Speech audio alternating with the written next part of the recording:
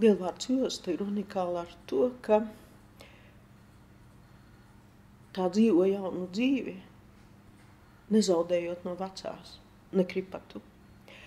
Jaunu dzīvi, es domāju, tāpēc, eh, un ar to, ka lielvārds josta tiek gan izgriezta kokā, kā Rūjienas eh, mākslas skolā, direktors Galzons, gan Rūjiena, eh, gan mm, lielvārdas josta ir izausta un kā dāvana ir bijusi godos un tāpat neskaitāmos godos, kaut vai Ziedoņa muzejā ir Ziedoņa josta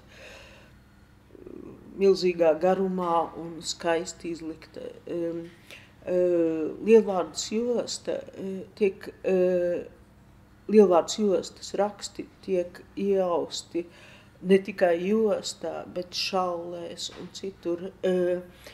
Var redzēt, ka tā ir kāda maģiska pievilcība un nevar teikt, ka tas ir tikai Anša Epnera un te nu Vinta filmas iespējas vienkārši ir raksti, ir um, veids, tāds šajā gadījumā josta, kas mūsdienās, jebkurā arī mūsdienu laikā ir vajadzīgs mīts.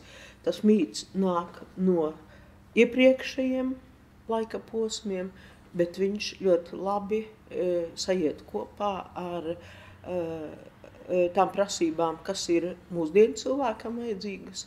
Tātad klāt piespēlēta moderna forma, bet ir saglabāts geometriskais ornaments un krāsa. Eh, lielvārds jostā ir ļoti svarīgi baltas un sarkanas krāsas salikums, kas daudzām Eiropas tautām saglabājies karogām, valsts karogos, mums arī, bet būtu jocīgi, ja mēs teiktu, ka kultūras kanona vērtība ir valsts karoks. Valsts karoks ir supervērtība katrai valstī, bet mēs savu baltu sarkano, sarkanu baltu sarkano esam iauduši e, lielvārdas jostā. Un tā ir atpazīstama geometriskais ornaments un krāsas salikums viscaur pasaulē atpazīstams kā senas maģiskas zīmes, bet tas um, gan krāsas savienojums, uh, nianses, gan uh, ornamenta elementi ir mums raksturīgi. Var teikt, ka ar lielvārds jostu mēs esam paši un mēs esam pasaulē. Tur ir uh, gan mūsu mikrokosmos, gan mēs lielajā makrokosmosā.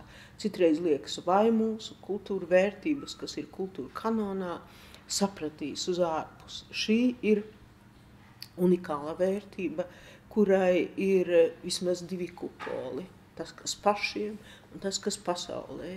Un mēs varam pievilkt vienu grozi vai otru grozi. Mums ir divi groži rokā.